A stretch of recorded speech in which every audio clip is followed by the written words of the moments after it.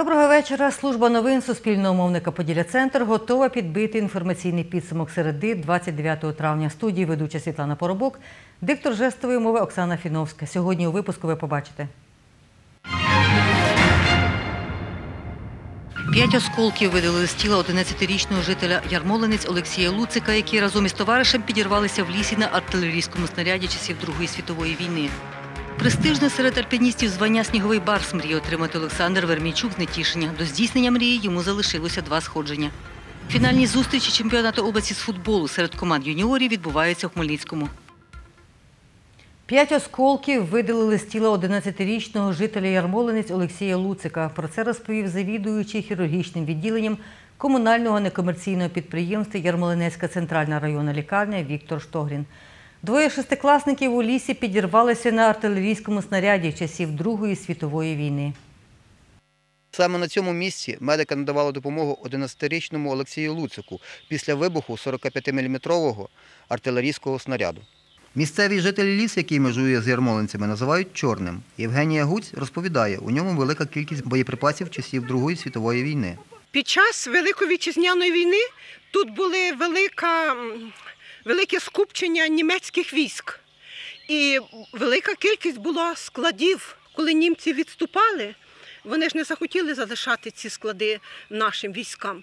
Вони ці склади підірвали. Дуже велика кількість боєприпасів залишилося на території лісу. Євгенія Гуць вважає, боєприпаси викопали шукачі металу. коли пішов пояс металу, оці шукачі е, металу почали ці боєприпаси з, з, з допомогою м, металопошукувач- пошукувачів почали викопувати ці снаряди. Олексій Луцик разом з однокласником пішли у Чорний ліс на пікнік. Там і знайшли боєприпаси, каже хлопець. Взяли бутерброди, взяли е, 2 літри води і пішли. Ми як туди пішли, ми звернули з дороги і ну якби побачили ті снаряди, і біля них ще була якась лопатка. Чому боєприпаси здетонували, Олексій не пам'ятає. Після вибуху намагався зупинити кровотечу. Я в лісі скинув футболку, перемотав рани, в мене ще була там спортивна сумка і кофта. Я вдів його кофту, а своєю кофтою перемотав рани. І спортивною сумкою, і футболкою.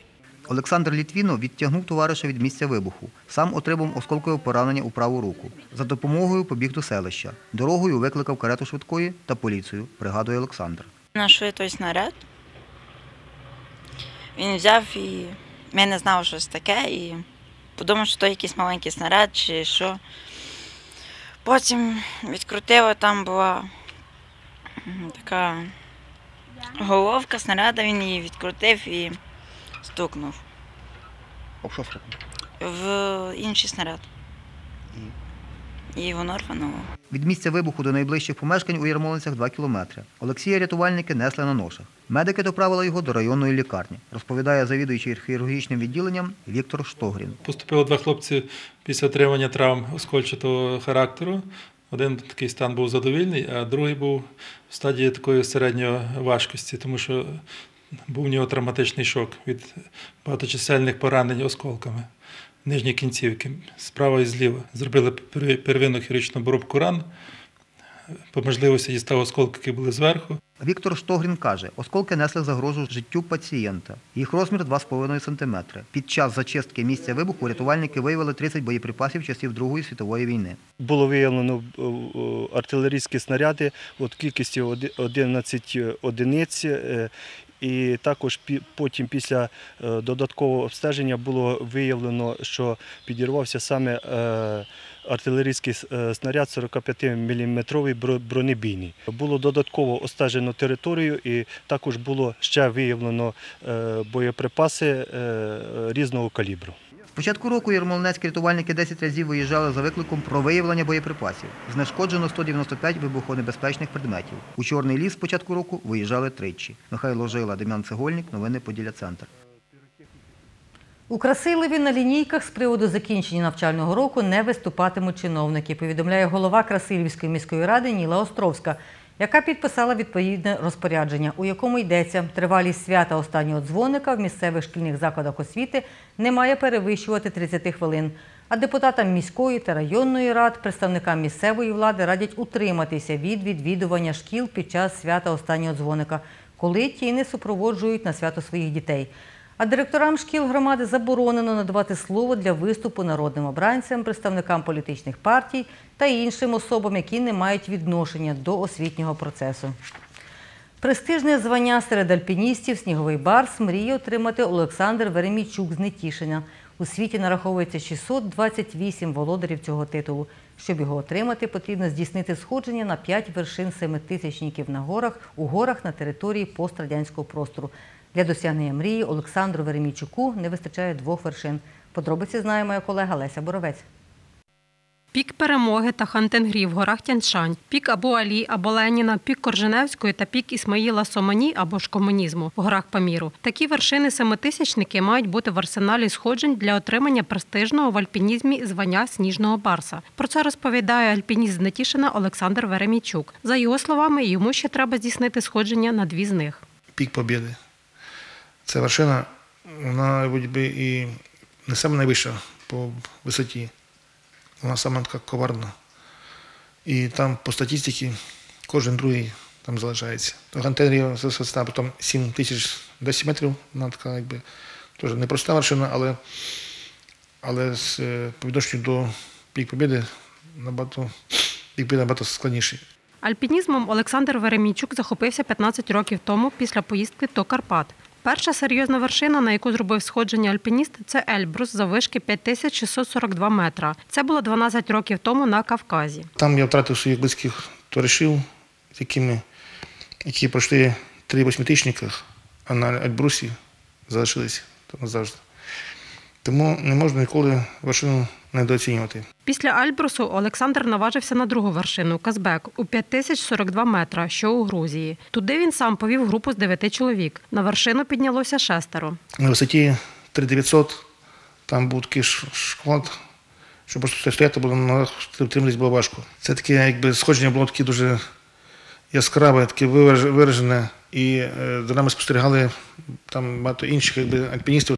У 2015 році він разом з майстром спорту міжнародного класу сніжним барсом Сергієм Бубликом з Сум сходили на пік Абу-Алі за вишки 7104 метра в Киргизстані. Альпіністів є таке правило, що потрібно піднятися на вершину до часу дня, принаймні на пік Леніна. Бо Якщо ти не встигаєш, то треба вертатися назад, тому що погода міняється. І так наші групи піднялося на двоє чоловік, в тому числі був і я. Це таке було сходження перше на сіматичники, досить таке непросте і відповідальне. Минулого року альпініст разом з колегою з Луцька Денисом Пісконом здійснив сходження на пік Корженевської та пік Ісмаїла Сомані в Таджикистані, які входять у п'ятірку найвищих у пострадянських країнах. Після сходження повернулися на базу днем раніше, що врятувало їм життя. Нас з речами забрали і перевезли вже там до місця призначення. А наші колеги, які летіли вже четвертим рейсом після нас, погодні умови помінялися, і гелікоптер е, впав. Загинуло три члени екіпажу і три альпініста. Наступного року Олександр Веремійчук мріє здійснити сходження на одну з вершин восьмитисячників світу, яку поки що тримає в таємниці. Леся Боровець, Іван Мовчан. Новини Поділля Центр. Житель села Немичинці Хмельницького району Олександр Машталер вирощує нові для жителів Хмельницької області ягоди з назвою Жимолость та інші екзотичні для нашої місцевості фрукти і овочі. Ягоди жимолості ранніх сортів, каже Олександр Машталер, достигли, незважаючи на дощі. Господар показує кущі жимолості ранніх сортів. Каже, ягоди вродили рясно і дощі дозріванню не завадили. Ягоди крупноплодної жимолості сягають 5 сантиметрів, на смак нагадують стиглий агрус. Ви бачите, який урожай е, жимолості, не дивлячись на те, що були сильні дощі, для жимолості це ніякої там якоїсь негативної особливості вона не, не було. Так вона урожай хороший, вкусові якості отлічні і росте хорошо. Садівник вирощує кілька сортів жимолості європейських та канадських селекцій. Ранні плодоносять у травні, на пізніх ягоди є до осені. Є сорта жимолості, які зберігаються на кущі 2-2,5 місяці. Уперше за свої шість років на подвір'ї садівника зацвіло невідоме українцям фруктове дерево, батьківщина якого Південна Америка. В народі його звуть банановим. Дерево азіміна має схожі з бананами плоди. Цього року плодів бананового дерева господар не збиратиме. От інжиру, каже Олександр Машталер, буде багато. Інжир плодоносить двічі на рік та за температури нижче 17 градусів морозу гине. Тому він вирощує інжир у горщиках і в мороз заносить у дім. У горщиках ростуть з насіння і помідори, перець, кавуни та кабачки. Дивіться, бачите от? Е, Бачите от? Маленькі. вже. От кабачки вже маленькі. Бачите? О! Це кабачки. Да, це вже маленький кабачок. Дві неділі і все.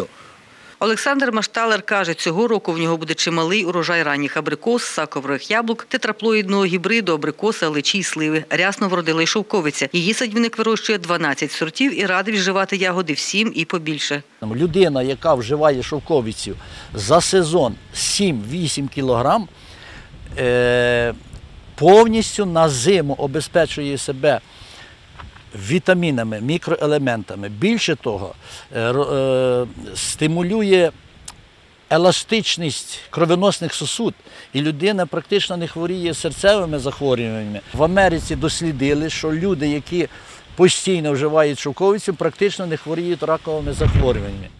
Не всі кущі й дерева в садибі господаря для користі, є й для естетики, як от граб плакучий, триколірний клен чи 10 сортів люпина культурного. А щоб мати такі ж врожаї фруктів, овочів та ягід, садівник-овочівник радить купувати насіння перевірених селекцій та дотримуватися технологій. Світлана Поробок, Іван Мовчан, новини Поділля Центр.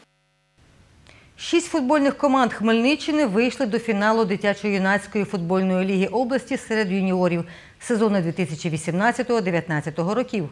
Із них три з обласного центру. Сьогодні команди мали фінальні зустрічі, які продовжаться завтра. Далі наші кореспонденти з подробицями.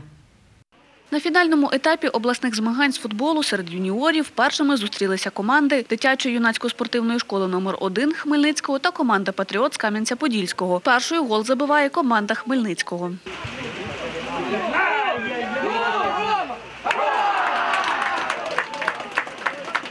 Під кінець матчу кам'янчани наздоганяють. Зустріч завершилась із рахунком 1-1.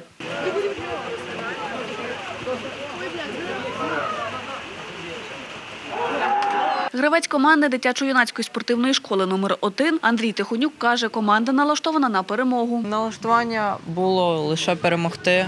Ми спочатку ну, приглядувались до суперника, забили і пропустили дуже прикрий м'яч. В контратаку була помилка наших деяких гравців. Автор вирішального голу Назар Гриценко розповідає, вдалося відігратись завдяки тренеру. Після першого тайму зробили деякі зміни в составі. Ну як тренер змотивував нас і ну, на перемогу. Ну просто невдало пропустили гол, а після того з- зібралися своїми силами своєї команди і забили. Могли забивати другий, але не хватило часу. Назар Гриценко додає, грати з командою дитячо-юнацької спортивної школи номер 1 було складно. Тактика була тримати сильну оборону, тому що ФК, ну, е, Хмельницький ДЮСШ є атакуючою командою, і просто ловити на сильних і швидких контратаках і забивати голи. Три команди з Хмельницького увійшли до фіналу дитячо-юнацької ліги Хмельниччини, розповідає заступник голови обласної федерації футболу Микола Кузніцов. Сьогодні в фінальній частині е, шість команд. Вони представляють дві команди. Це Патріоти ДЮ США е, номер 2 місто Кам'янець-Подільський, е, команда Енергетик з Нетішина. е, І три команди представляють обласний центр. Це дві команди е, Поділля-Хмельницький і одна дитяча юнацька спортивна школа номер 1 Микола Кузніцов каже, змагання тривають ще у вересні. З вересня по листопад було перше коло проходило, а з квітня місяця, от по травень, проходили друге коло, і за результатами двоколового турніру це ж е, кращі команди потрапили в фінальну частину. Всього в обласних змаганнях з футболу серед юніорів сезону 2018-2019 років взяло участь 14 команд Хмельниччини. Андрій Гуменний, Дарина Денисенко, Олександр Горішевський. Новини Поділля Центр. Кам'янець-Подільський спортсмен Роман Іванюк здобув на чемпіонаті України з пара-тхеквондо у Вінниці дві золоті медалі, повідомляє його тренер Сергій Чайка. Роман Іванюк тренується вже е, більше як 8 років, але через те, що в нього травма руки, яку він отримав під час того, як його народжували, він не міг приймати участь у змаганнях Тайквондо. Приймав участь він ну, в таких міських змаганнях, перемагав. Чотири роки назад прийняв участь у першому чемпіонаті України по паратейквондо, який проходив в Запоріжжі, і там завоював срібну нагороду. За словами Сергія Чайки, в 2018 році тренер з вихованцем розпочали підготовку до чемпіонату України з паратеквондо. Роман приймав участь в олімпійському класі К-44 ваговій категорії до 75 кг та понад 75 кг. Кількість спортсменів, які приймають участь в цих змаганнях не така велика, але треба, щоб була конкуренція, щоб вона вкатувалась тут. А Роман важить якраз рівнесенько 75 кілограмів, тому він може виступити, якби зважитись і до 75 кіло, і понад 75.